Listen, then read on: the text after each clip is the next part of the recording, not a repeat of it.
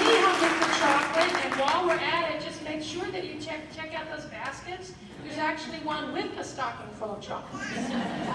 So years ago, you can see the jukebox is actually playing the vinyl records, both the A and B sides. Once again, that group in the back will probably have no idea what we are talking about.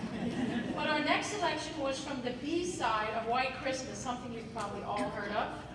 The story is that New Jersey's favorite son, Frank Sinatra, wanted his own Christmas song. So he asked Sammy Cahn and Jule Styne to write one. If Frank wants a Christmas song, you don't want, you don't say no to Frank.